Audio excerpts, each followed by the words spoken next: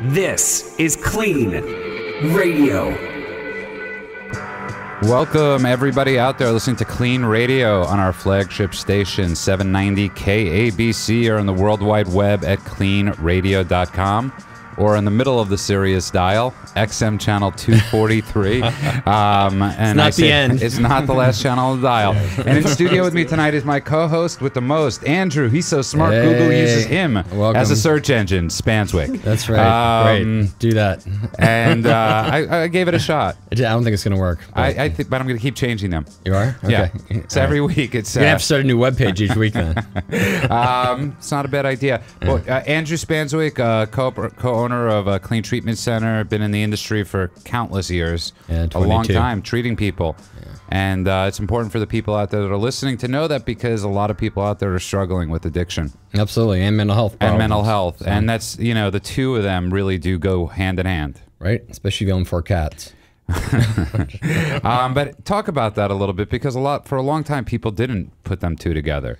Oh, alcoholism and, and, and, uh, mental illness. You know, if you had a mental and illness, you were put in that type of facility. If you had alcoholism, you were put in a other type of facility. Yeah, for a long time, uh, substance abuse hasn't. It was considered part of uh, to cause other mental illnesses, or people had mental illnesses, and therefore they had a symptom of uh, having a problem with addiction or um, alcoholism.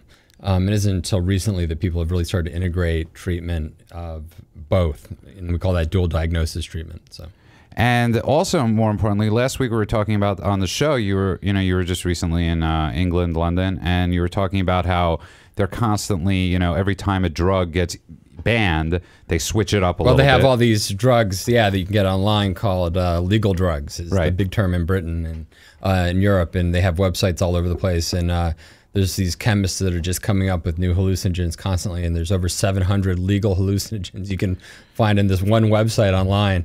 And uh, they basically every time the government makes it illegal, it takes months and months to make one uh, substance illegal. They make it illegal, and they just all, they have like three or four ready to replace it right away. They just pop in the next one. So uh, it's becoming a point where even regulation with legalization or criminalization, even if we had legalization with regula- regulation, it would still be almost impossible to regulate some of the stuff that's happening. And it brings us to, you know, one of the things I wanted to talk about on tonight's show. We have an amazing show for the people out there listening. If you just tuned in, you are listening to KLEAN Radio. We have uh, one of the guy I've known for many, many, many years. He's uh, had a top, a couple top 10 hits and uh, in both country and pop. And uh, pop and country, and somewhere in the middle. that order, yeah. And uh, we have an amazing, uh, an amazing uh, clinical person. And, and you know, in the beginning of the show, is saying we have professional guests and celebrity guests tonight. We actually have two, and he's got an amazing facility in uh, Malibu. His name is uh, Jeff Nealon. And uh, please say I pronounced that correctly. Jeff Nalin. Nalin, I'm sorry. Um, I was Practice how many times shot. before the show? I practiced quite a few times, and uh, Jeff Nalin, and uh, um, and we have a great he show. nailed it that time. We're here to help you. It's And we have a great We're here, for, we're here That's right. help. We Thank can't you remember your name, but we're, we're very But, good at uh, helping you. First off, we have Jaron Lowenstein, a guy like I said I've known for a long time, and uh, you might remember him.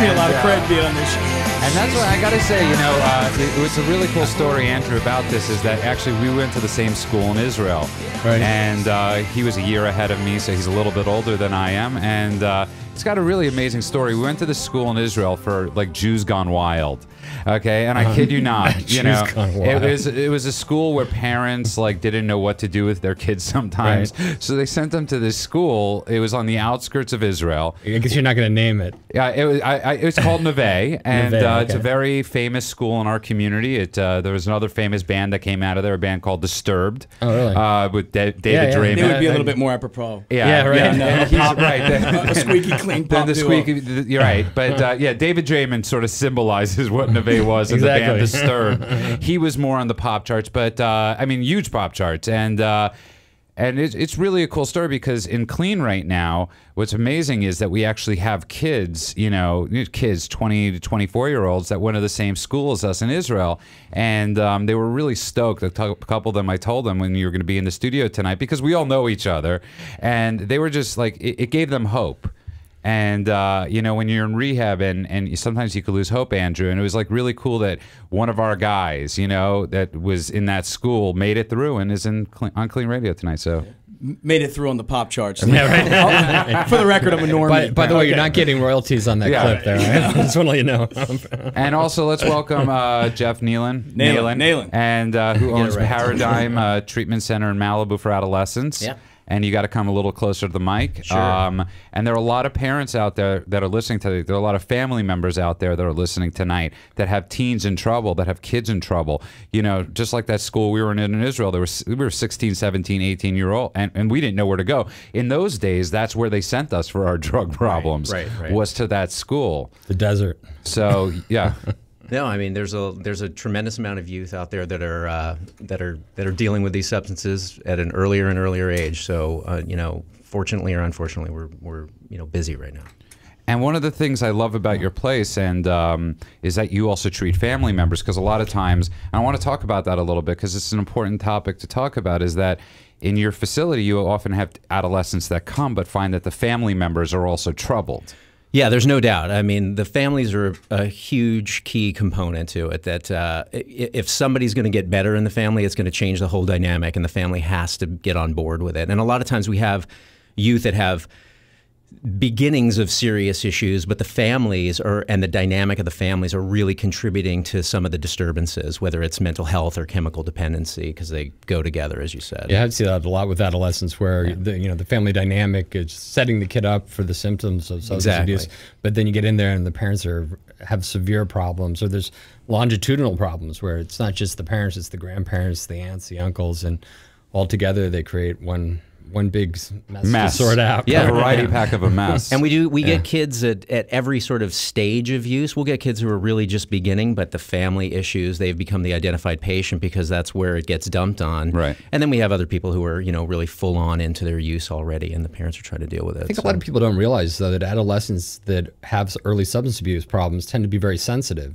So uh, and they tend to be the most sensitive in the family. That's and exactly right. and so they're the ones that are showing the symptoms of the this family dysfunction. The other ones are hardened by years of dysfunction. But you know, you get these young kids in, and all of a sudden they're they're like, "This shouldn't be this way. There's something wrong." There's no doubt they feel things really strongly, and their use usually starts off by just trying to numb that a little bit and get a little bit of a thicker skin, and then it takes off from there. But uh, they are definitely the sensitive ones of the family. Sounds like every Jewish family to me. but that's and if, That's just because you went to that school. yeah, that's right. But, but here's the question I have. We used for to call you. it Spielkes. Now they call it anxiety, apparently. I don't know.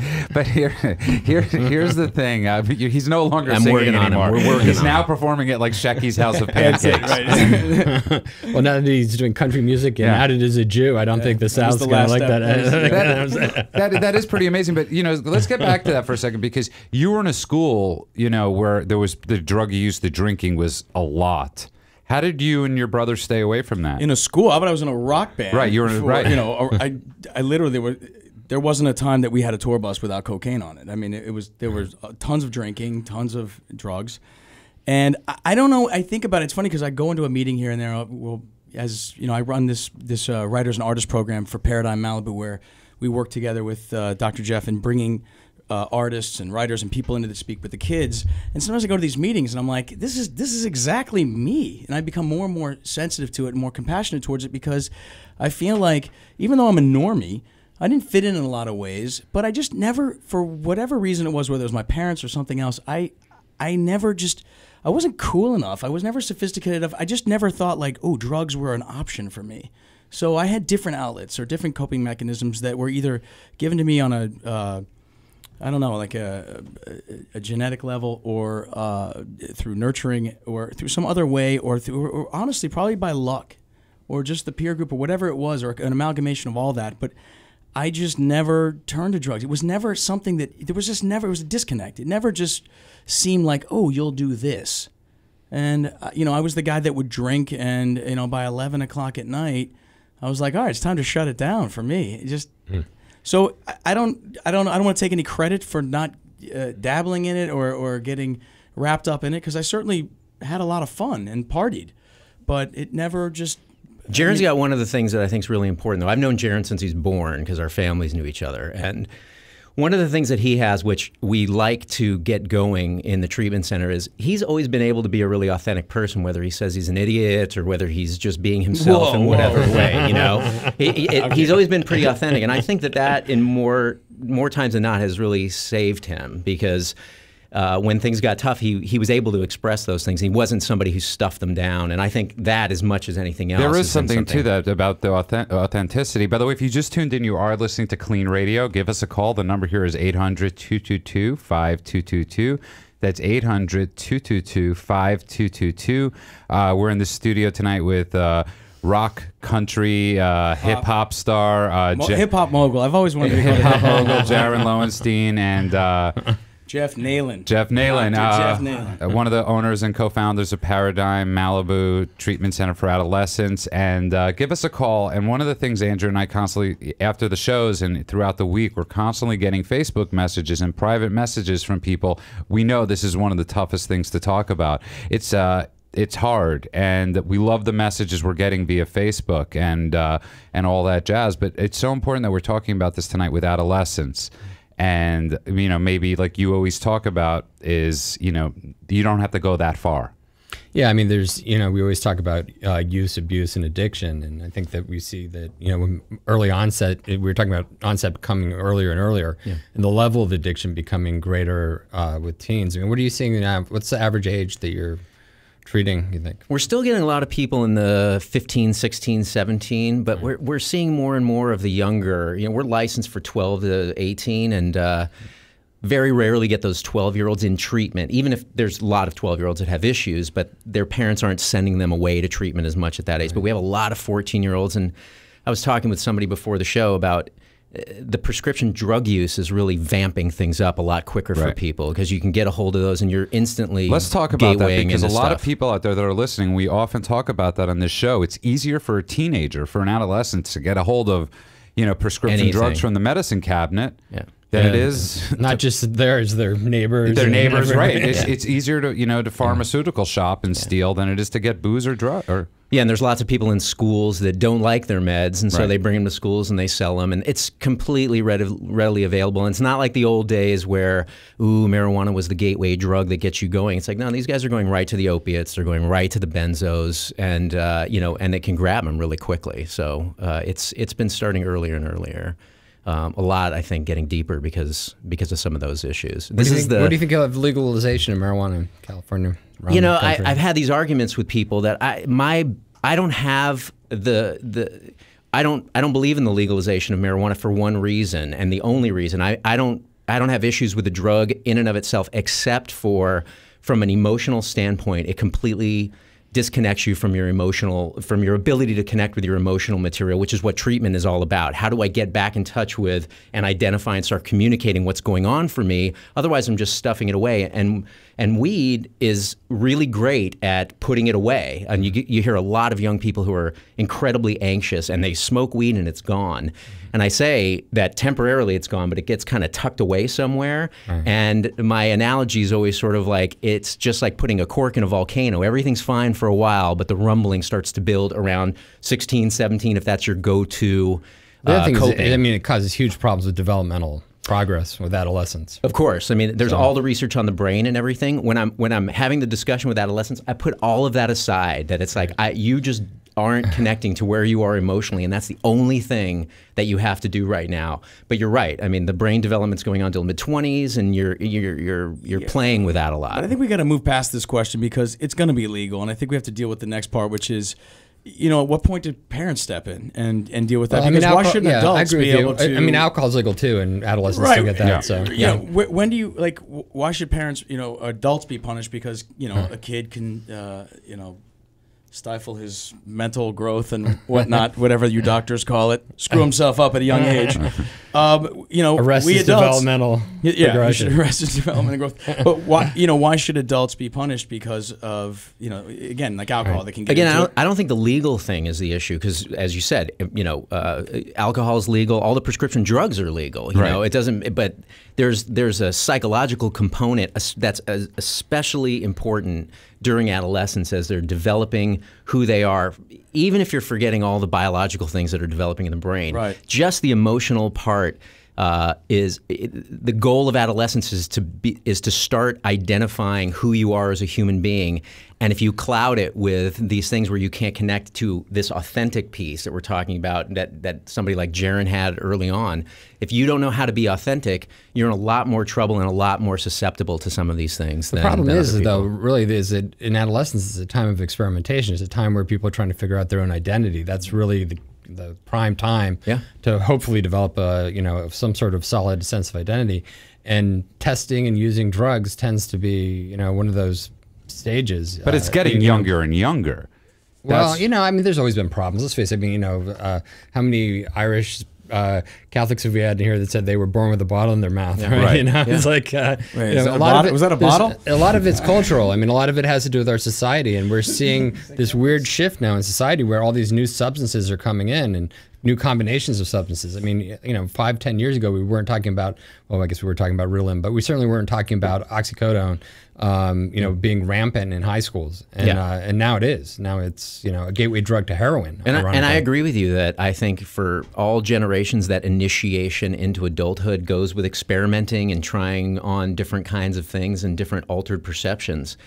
But when you when you start with oxy, it's a different game, and uh, even even the psychotropic meds, you know, starting to get introduced really young. Lots of people at six and seven and eight and nine when they have issues there's something going on there, Right. uh, you know, that their brain's still developing and you're developing it with some kind of, you know, psychotropic med, you know, it's, it's, uh, you know, people are playing a lot of roulette and that's why they don't know exactly what's, you know, what's going to work for certain people because everybody's different. And you just have to take all that into account. And, you know, there's harm reduction things you can do with young people early on.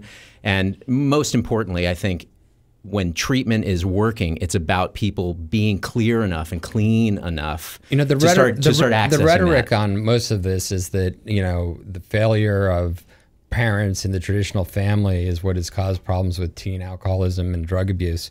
Um, do you think family structures change that much? Do you think people are accepting the new family structures that exist? Do you think there's any reality testing that's going on by parents and by society in general to say, hey, you know what? Things aren't the way they used to be. There's combined families, there's different types of families. We're not going to have the perfect family. Maybe we never had the perfect family.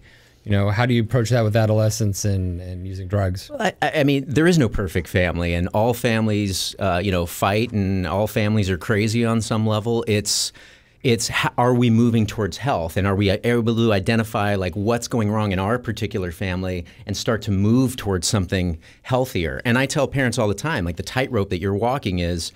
Uh, especially in adolescence, is you've got to give people uh, enough rope to sort of move on their own without hanging themselves. Parenting a five year old is not parenting a 10 year old, is not parenting a 15 year old. And parents have to upgrade their own defenses for those kinds of things. And usually you see problems in the family when people get stuck in some kind of stage and they want it to be the way it was. And Well, most people parents just evolving. mirror how they were raised, and that's the that's the coping skills they have for parenting, right? And as society's changing, and these new substances are coming in, and you know, I also think they don't have the understanding. Well, that's my point. Yeah. That's my point. Is that you know now they a lot of parents don't realize that you know kids in high school are taking opiates that are in the form of pills that are much much stronger than anything they ever had seen right, in and but the that's part of the you know? problem, right? Because they did it. Yeah. They think, well, I did it. It's not. It's not that bad. And look at me now, not realizing how more far more dangerous the drugs are now. Yeah, and I think I think the pressures are different too. It's like you know, I mean, I probably sound like an old fart, but it's like being uh, a teenager back when I was a teenager is not the same as being a teenager What's, now. what's and they- different? What's different now? Well, I, I think there's a there's a tremendous amount of pressure to uh, uh, get older quicker and be cooler quicker. You know, I, when I was in high school, It's ironic because we're living longer. I, I really didn't have to add that. I just feel like the, I feel like I, I feel like the John Oates of It's this, okay. du- It's of this You're special getting- you're guest getting- duo over here. You're getting to be young. I got to get a line in. Your your seventies the new twenty. So. Yeah, I just remember in, in, in high school there was you know the ten percent of people who sort of used and they were on the back step somewhere Right. by the by Listening the to Led Zeppelin or something, and it's flipped completely. Yeah. it's completely flipped, and there's a there's a tremendous amount of pressure on young girls to be uh, Well, just access to sexual porn and on to the be internet physically is like- attractive. Well, It's sexting changed and, everything. and all of that Yeah. internet. I mean, the kids today aren't going to. I, I think Ford came out with a study a few, a few months ago that was, they were talking about how they're not selling as many cars anymore to the kids because they're no, there's no mad rush to get out of the house. Yeah. Right. When I was a kid, the first day one of my friends turned 16, it was like Get a I'm car. out. Yeah, Yeah, yeah, that's right. Yeah. Ne- Well, also, your parents aren't around, so you have the whole house to yourself. You know? well, now they right Yeah. now I have a house to myself. It's amazing. 39 is awesome. 39 I is just finally get got the there. I actually think that's a great point, and what you're saying is th- th- there has been this hops. You know, when we were younger, you know, you'd call all your friends on the phone and get everybody would go to the park. Right. You know, you'd, you'd, you'd get 18 kids at the park. Now it's 18. You know, on a You'd on- have to go hang out somewhere in right. the woods or something. It's like you're, you you're literally on a joint text message. That's today's new sports. It's like okay, no pun intended yeah. there on the joint. Yeah, the text only time it mattered who was the oldest kid in the grade was when you're about 15. You're like, wait a second. Yeah. Judah's going to get his license first. Yeah. I got to be friends with that. But that was your ticket out. And now kids are just like, whatever. I've been out of the house since I'm eight with my cell phone. I've been driving on my uh, Xbox for Right. 22 That's, years. exactly, that's exactly right. And I mean, and I think that does have a huge part. That's a huge uh, part. Yeah. is that we've advanced with technology so much. These kids with this, with the young girls. I mean, I didn't know. I mean, I'll be, I didn't know what a girl was till I was 16. Yeah. All I cared about was my was my Uh, guy the, friends. The views and uh, ideas expressed by Judah do not Oh, wow. represent This- the yeah, kids right. that went to that uh, school in Israel. I Go said ahead, I was, continue. I, said- I said I was 16. When I got to Israel, I was 17. Just saying. Actually, Judah thought he was the girl. Those weren't the type of kids that went there. Whoa, the, the show took a whole different. By the way, if you just tuned in, we are you are listening to KLEAN Radio. Believe it or not. We have calls lining up. Uh, we'll get to them after the break. We have a great, really a great uh, couple guests in tonight. We have Jeff Nalin. You see, I went to you first, and I said your name you correctly. did. Owner, operator, co-owner, operator of uh, Paradigm um, Malibu, and it's really an awesome site. I got to tell you, you have an amazing website. Oh, thanks. And if you offer tons of stuff, and I, I I really wanted to check this place out because it's for adolescents. And at KLEAN, we're constantly getting calls from parents, you know, for you know adolescents, and we don't always know where to Or we send work them. with the parents and then Yeah. they find that their kids have The- a their kids as are well. having a problem, Yeah. and it's really good to know because I was looking at your place and I was like, I want to go to this place. I mean, you guys have everything you could ask for. Yeah. You have at this place, and. uh I have a thing for teenagers. It, that didn't sound come out correctly. I have a I have a And place cut. in my heart for uh, for uh, teenagers in trouble. Still bad. Oh, okay. and uh, for teenagers in trouble. And I love your facility.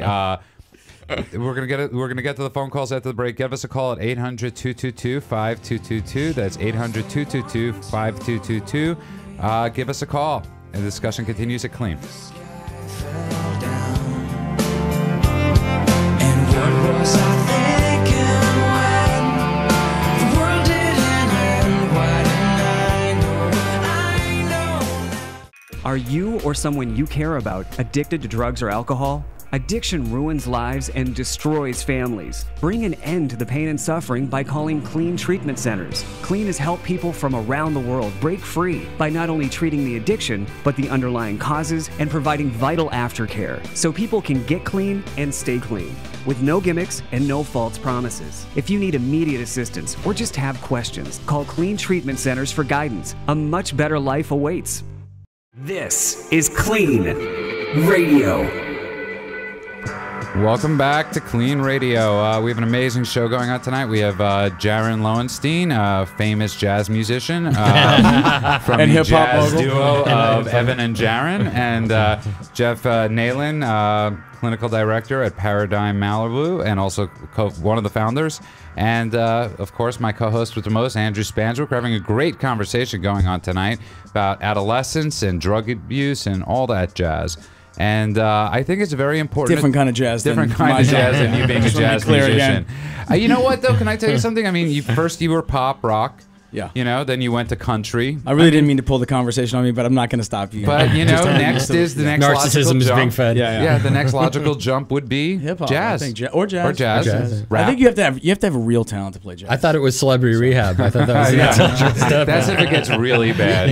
you have to have real talent to get in there too. By the way, Let's get to a call. Let's go. We have Alan in uh, California. Welcome to KLEAN Radio, Alan. Oh, hi. uh, thank you for taking the call. I uh, congratulate everybody for doing what you do. You're not letting the kids down, but let me get right to, to some points. Sure. I think what needs to happen is we need to blow up the uh, television screens and the, um, you know, um, all of the, the video shows and things that are shown uh, to show kids um, that there's other directions to go. And number one is uh, there was a program a long time ago called Scared Straight, Yes. Yeah. And they they have these kids. They took them to prison. They they, They still kids. have it, by the way.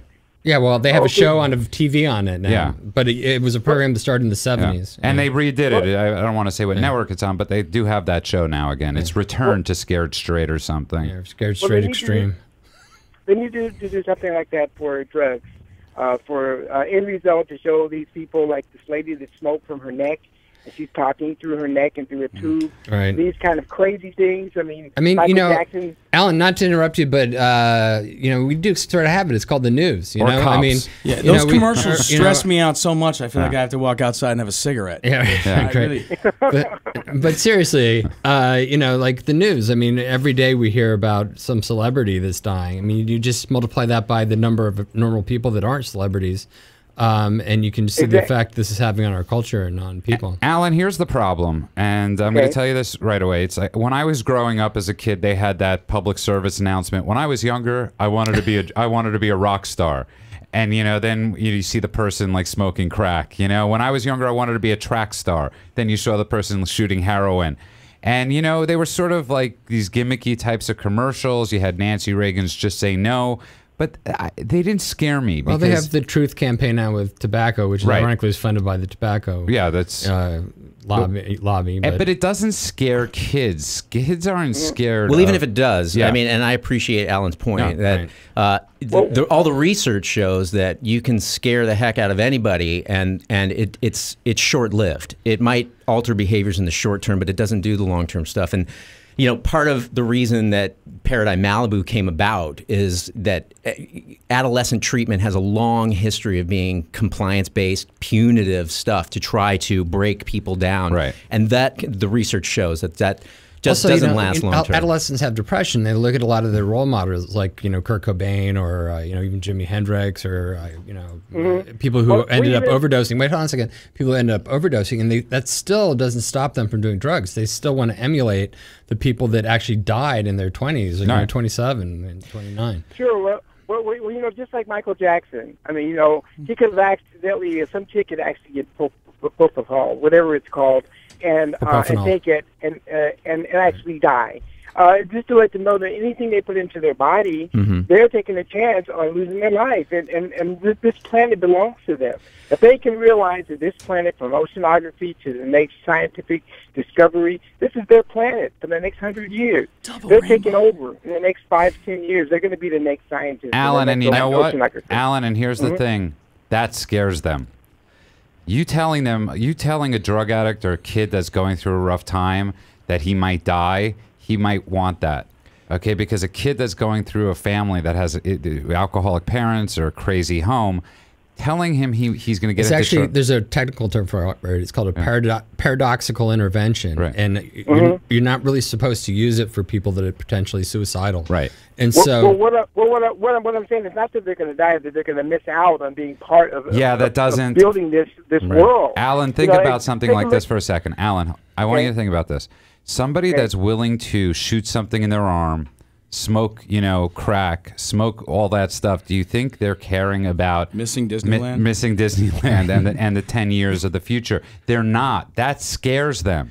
And the reason that people are doing it, you know, I can speak to young people that young people start doing those things because they feel overwhelmed already. And this is something that they think is going to help and it might help in the short term, but it's it's overwhelming. And Andrew made the point at the at the beginning of the show that there's no uh, you didn't say it this way, but there, but with addiction, chemical dependency, I don't think there's any chemically dependent young person that isn't a dual diagnosis Right. patient. Right. There's anxiety, there's depression, there's trauma in their past. And so the fear factor, breaking people down, clearly doesn't work. The last thing you want to do is break somebody down that's been through trauma. By the way, Alan, thank you for the call. Um, you're completely right with what you're saying. And we, you know, a couple weeks ago when I was actually in New York on the phone, that was one of the last things we were talking about was, you know, one of Andrew's issues with certain shows on TV is that they, you know, uh, with the detox, you yeah, know, I'll that come they, right on say like Celebrity yeah. Rehab, where they show people having seizures Yeah. and throwing up, and the fact is they're not properly medicated Yeah. during detox. And this you is- shouldn't have to go through that during detox. And this is what I was saying. If you, tr- if anybody, this is just me. ratings, any- ratings. anybody that uh, believes in this uh, tough love or beating somebody down thing doesn't understand addiction. Right. Because Right, they understand punitive measures, and that's why we have a correction, a a juvenile correctional system that you know is full of people that have drug problems. Yeah. And, And it's an easier way of treating people because oh, because you don't understand it, I'm going to beat you down. Right. And that's like the old school sort of treatment. It is right. It's it's called jail. That's not how you treat addiction. Right, and if you think about what, what, what the Yeah. goal of being a young person is to become a free thinking person and, and move into a, adulthood with an idea of who you are. The idea of treatment of like sit down, shut up, and listen to what I'm saying so you can do it right doesn't do anything for them. They have to learn how to do That's that right. themselves. And for treatment history, it's a lot harder on the staff to do that. And it, it's much easier to say sit down and shut up and listen to what I have to say. But that's not that's not the way you get through. They have to discover things about themselves, and they have a lot to teach us too. And I think when you come at them from that angle, that they have Of love. empowerment. It's love. Yeah. What if, you- what if- let's just say hypothetically though, you have a kid and you find that you know your son's got some marijuana on him, Mm-hmm. and there's other than finding marijuana, you haven't really seen other symptoms. You get parents that like freak out and come right to inpatient treatment and think the kid needs to be in rehab, or we do. You Uh, do Not often, And- but we and do. you, do you screen them out, or do you refer them to IOPs, or do you take them in? Like, what, what's your thought? all of the above. It depends on the situation because sometimes you'll have a situation where you have, you know, an overprotective parent that's, you know, more worried than they need to be. Sometimes you're walking right into the dynamic that you want to work on because it's not it's not about the weed, it's not about the marijuana, it's about uh, this dynamic that we have to get to because if you squeeze this kid too much too long you're going to inhibit their ability to deal with things and then that leads to things that are worse later on and if you can nip it in the bud that's great and sometimes you can do it what's- through what- outpatient So, what's your advice? You know, uh, parents listening out there, and maybe they've caught their kids a couple times drinking and using drugs. What what's a normal reaction? Do you think, or what should be the normal reaction? I, I think the biggest part, what what you do in treatment once it's gone haywire, is about learning how to create an open communication with your kid, and that's not going to be completely possible because you're the parent and you're supposed to be a nerd at some point, and their friends are more important to them. But to keep it to keep the door open as wide as you can, and with the invitation that you can always walk through and discuss these things with me in a, in a con, in a consultative kind of way. And that doesn't mean that you know parents don't have veto power, and at some point you have to stop things and say no to things.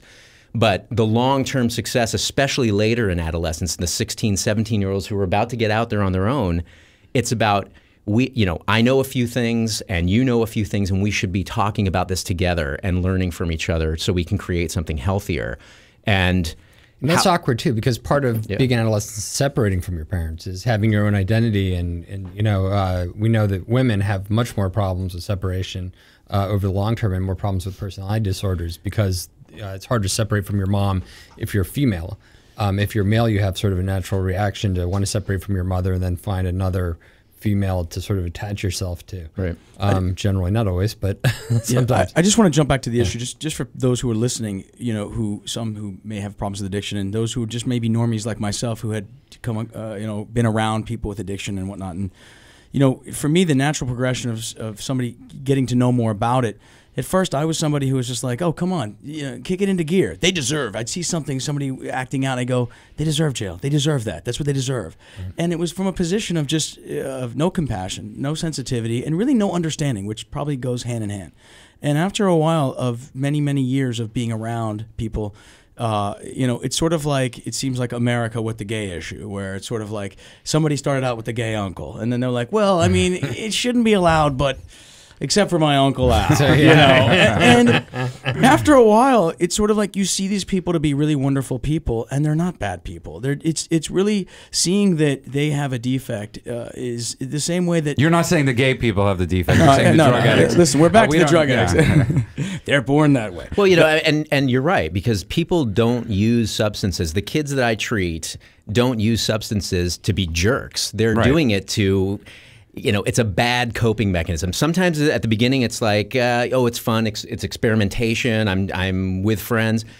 But then it turns into, if it turns into regular use, it's about I'm trying to cope with this disturbance, this pain, uh, something, and then it gets a hold of them. So it's it's never about uh, uh, just tr- you know some some defect in moral character. Yeah, I mean, also you got to remember, people are sort of naturally set up to deny what what's wrong in their lives, and sometimes it takes a long time for people to notice, like, oh, you know, when my uncle killed himself, that really actually affected me, and they cover that up with drugs, or that you know that mom leaving really was a big deal, you know, and they tried to act for years that it wasn't, and then all of a sudden, you know, using drugs a- enabled them to just not deal with it, and then all of a sudden. They're a drug addict. They don't know how that happened, and it's literally like that for someone that becomes a drug addict. I don't think Yeah. regular people that don't have a drug problem understand that drug addicts And I don't think the they would ever want to be a drug addict. Like nobody, nobody goes out. Like, Well, there's a few people probably went out. I want to be like, you know, I want to be a rock and roll drug addict, but Right. most people don't really want to be a drug addict. I mean, they want to use and be able to keep using and not be an addict. Here's my question: If a person says in, in the course of 45 minutes that they're a normie five times, Yeah, do you right. think they might have a problem? That's why I'm here. right. I'm, I'm here to add that five perspective to say that no, I didn't bottom out, but I can still care about Yeah. those people and add compassion to it. And I that think it's a really is, great by the way, It's a great point. No, it's really it's a great point that, that that I feel the reason why I'm active and involved in this area. It's amazing say- what you're doing. Is to say, you know what, I I didn't. I'm not trying to like justify my actions or my behavior. I I am a for six time a norm. I didn't go down. That's it. We got him But now. all right, Oh, here they are. They're coming to me.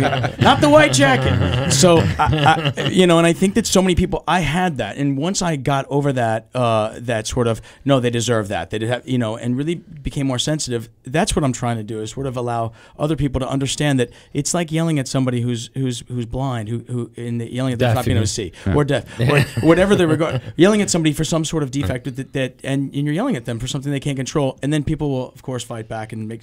But the, I, I think the, the and obviously you guys are so much more educated and know this, but something that I learned about uh, was uh, hearing about craving and not understanding what that just how real that was because I'm like, oh, I, I'd like to. I'd like to go out and get a nice piece of cake right now, but you know what? I, I, is there a difference? Yeah. Yeah, and, and there's compulsive disorders beyond just addiction, and there's different types of compulsive disorders that lead to addiction. So, you know, all these things are so complex, and I think that's what's important for people out there to hear is that there's all these different interventions, not just for substance abuse, but for all the underlying things that can create substance abuse. By the way, if you just tuned in, you are listening to KLEAN Radio. We have a great show tonight. We're in the studio with uh, Jeff Nalin, owner and operator, founder of uh, Paradigm uh, Malibu, which is an amazing treatment center in Malibu that helps treats adolescents. And we have bluegrass sensation Jaron Lowenstein, um, formerly of the bluegrass sensation Evan and Jaron, and uh, which is also amazing. By the way, hit an awesome country hit in 2010. It's called Jaron and the Long Road Home, and uh, We're close. Jaron and the Long Road Home. Love. It and uh, it's really it's an amazing song, and it actually I just want to bring up it had two videos. A song called "Pray for You," yeah. I'll pray for you, and it's a great song. Uh, I've watched it many times, and it has one with Jamie Priestley in the video, and one. Can you it get anybody's? How is this guy in the air? Can't get. It's Jaime Pressly. Jaime Pressly? How are you? How are you the host?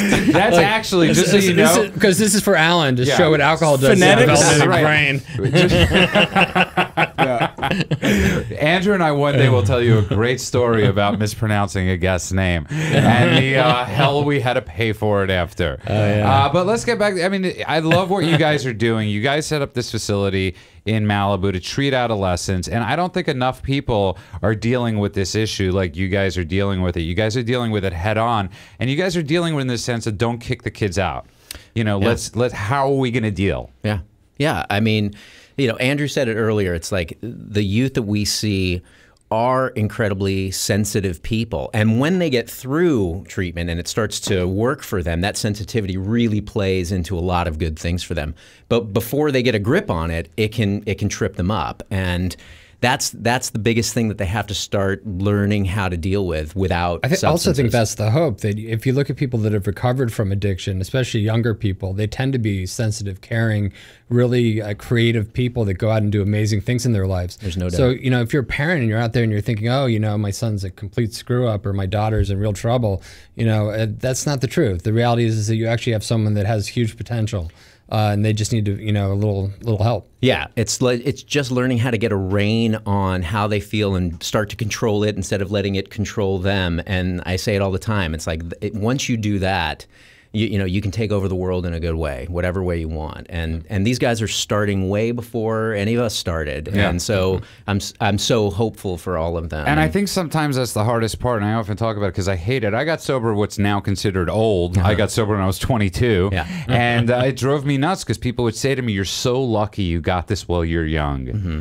And I would look at them and say, "Shut up! you're so lucky you got this while you're old," because I was so jealous that they had the extra 20 years of drinking, and they were so jealous that I didn't have to go with. And then I just realized, no matter what age you get there, you're miserable. You know, you could be 15, 30, 60. You're miserable uh-huh. because you should be miserable. You just lost your best friend. Yeah, and I say, you know, even good changes in our lives, and this is the example I use for kids. It's like when you get into the college of your choice, this great thing that's happening to you, and then you move across the country and you move into the dorms. It's like all of a sudden the nervousness comes up. Did I make the right decision? This is not what I thought it was going to be. My roommate's a tool. And mm-hmm. all of this stuff starts to happen. So that's with a good change. So when you're talking about making a difficult change and facing some of the emotional things in your life, it's really, really difficult. But the long term bonus to doing it i- intensely at the beginning is all of a sudden you get comfortable in your own skin and you have this long period of time of being okay and being authentic, and the people around you know who you are. And you're miserable because you have a Jewish brain. it's just how it is. You're giving away all your stuff today. no, I mean, come on. I, what- I told you what that Woody Allen line in his that documentary just came out. Yeah. that he was. You could say it on the radio. Yeah, he got. Uh, he, he said he wanted to be a director. Was a director. Wanted to be a writer. Was a writer. Wanted to be a comedian. Comedian. Wanted to be a jazz performer. Clarinet at the highest levels. And he's like, I feel like every dream I ever wanted came true, and yet somehow I feel like I got screwed because that is the Jewish condition. Yes. it really is. and that's actually sums up sort of sometimes the addict condition too is that no matter what i have no matter all of these things i be- you know I, But I was- also, people don't understand. I think that it's not about what you achieve; it's the process of achieving it. Like work, work is not necessarily the end result of what you've created. It's you have to really enjoy the working. Otherwise, you're not enjoying life. It's being present in the moment and having real rewards and attachment to what you do every day. Yeah. If you're if you're just waiting for some result and think that all of a sudden you're going to get all the rewards at the end of the result, then you're never going to be happy. You're going to be miserable 90% of your life or more.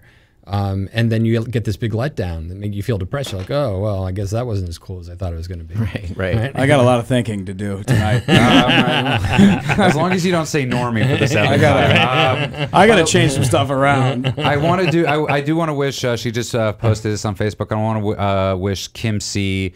She, on the eighth of July, she'll have eleven months clean and sober, and she's loving it. So I just want to say congratulations. That's awesome.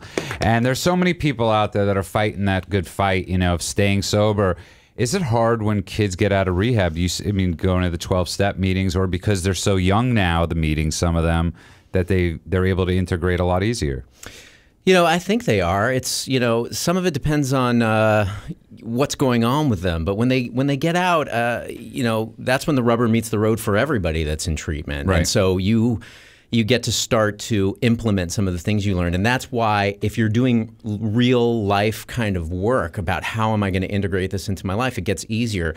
And certainly, you know, 12 step support that's out there is huge, and there's a lot of young people's meetings, and it's great because it always winds up throwing a wrench in their belief system that if you're if you're sober, it's going to be lame, Yeah. and then they meet a lot of young people who are sober too. So if you're doing if you're doing all of that work and if you have the context to put it in of like I know that I do these things with the events that happen in my life and I've got to watch that because it can lead me down a road uh, and then get the support around that I think I think they have a really good shot of, of And, and I know that you stay in touch with a lot of those kids. I mean, I, we talk about them, kids from years ago, and I'm sure that's got to help uh, some level just to have access yeah. to you. Well, I, I mean, I think it, I think it's helpful. I mean, we say that you know anybody who's been through our treatment program can have aftercare as long as they want. And what we what winds up happening is like you will be at dinner and somebody from 2009 will walk in the door and uh, and and want to come in and either they're doing great or they're feeling you know sketchy and they and they just want to be around it for another minute. And so uh, it, which is great for us because it's, you know they're, they're there and you're staying in touch with them and they're showing the new people what it can look like down the road. So they serve as role models, and I think being of service is such an important piece of it. So. By the way, if you just tuned in, you are listening to KLEAN Radio. That's uh, Jeff Nalin, um, founder, uh, co-founder of Paradigm Malibu, an amazing treatment center for adolescents. Also to his left is uh, I'm out of uh, music music genres. Uh, Jaron Spoken word, Blues specialist. Yeah, Polka. Spoken word. polka. and, and Andrew Spanswick, co-owner, co-operator of uh, KLEAN Treatment Center. And one of the cool things, I love this sort of mingling going on. This is great interaction because you have a lot of the same belief systems that we also have at KLEAN, which is you know throws. You want to say, um, you know, just trying to treat people and not always the same. Everybody's different. Everybody's unique. And I think you know, for a long time with alcoholism, because we had to, you know, we had to say this is the cure. This is the one. I think thing. also the treatment industries had to grow up. Yeah. I mean, I, you know, I started in psychiatric only. I only had acute care psychiatric hospitals, and I had nine throughout the United States. And ironically, they were called Paradigm Health Systems. Yeah. So funny. So, but uh, Great I, Bringing it back. Yeah, bringing, Bringing it it back, back. Right. So anyway, but uh, so when I was running my paradigm, my first co- that was my first company, and uh, I was 100% just about psych. Psych. It was all psych. I mean, everything was you know Right. it was locked down, acute care psych.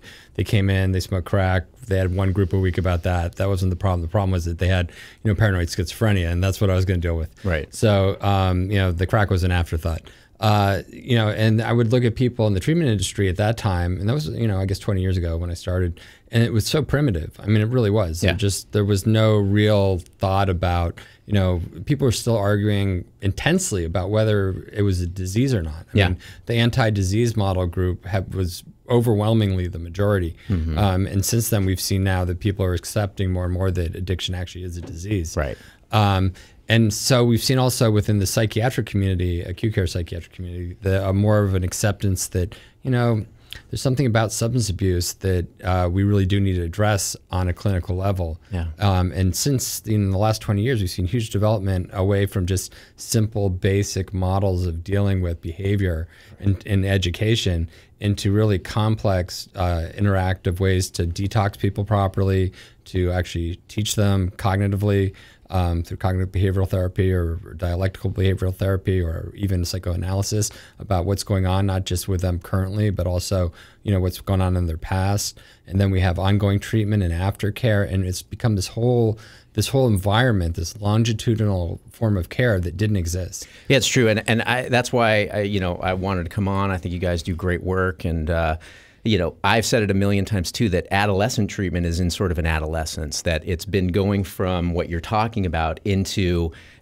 from strictly behavioral. We got to stop this or that behavior mod was like Yeah. all they did. Yeah. I mean, that was it. And now it's like no. It, the truth is, is that these underlying issues, these psychiatric issues, depression and and trauma, a lot of trauma, especially. Do you how um, much? Yeah, let's talk about that a little bit because I always say growing up. When I got sober, I, I, I really had a lot of post traumatic stress. Absolutely. Growing up in the certain community I grew up in, mm-hmm. You know, there was a lot of stuff that not I knowing had, what a female was. not till knowing was what 19. a female was till I was 16. 16 yes. sorry. I graduated high school early. And Judah, I'm gonna let you finish, but Andrew had the best line. Sorry. yes, Kanye um, joke. Okay. uh, Je- I don't know if Je- Jeff, you're always welcome back to KLEAN Radio, by the way. Um, uh, but I just wanted to share this quickly because we are running out of time. And I love what you said about the people out there. If you just tune in and listen to KLEAN Radio, but the thing you're talking about is that dialogue, having that continuing dialogue. Because Andrew and I have a good friend of ours a couple of years ago had a big issue with their daughter. I'm not going to say the name, and he didn't know what to do. Yeah. Spoke to Andrew and I, and he opened up a dialogue. And the, and and the person's uh, child is 16 now, doing amazing. That's great. And and he set up a dialogue with that, you know, with that with his with his child.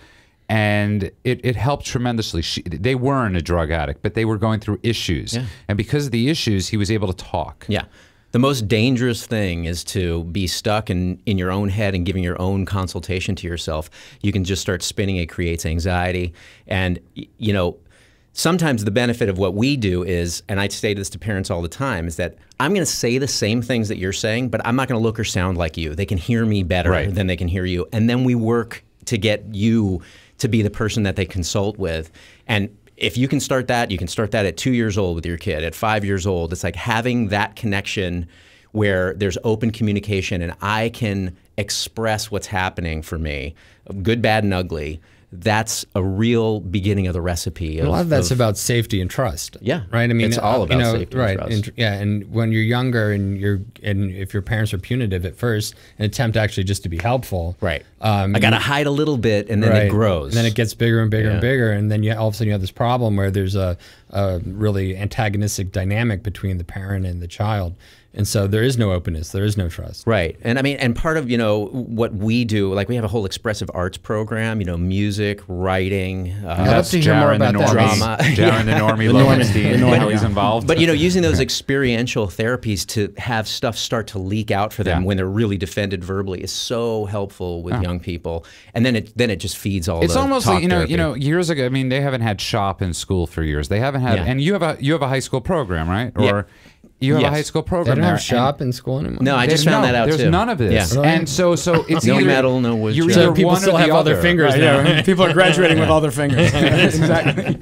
But I always say X Men. My favorite thing about X Men, I, I love the movie, but I always thought, I always like thought it was like, you know, that's what I say about alcoholics. You know, they have these amazing skills, Right. that just need to be honed. That's right. You know, and I, I love that about X Men. You had these mutants, and you know, calling alcoholics mutants. I am one, but I just needed my skills. It's the wonderful honed. mutant. Yeah. Yeah, it's, It, and and and I love what you're doing. You're you're you're honing their skills. You're you know you're training them, showing them who they can be. Yeah.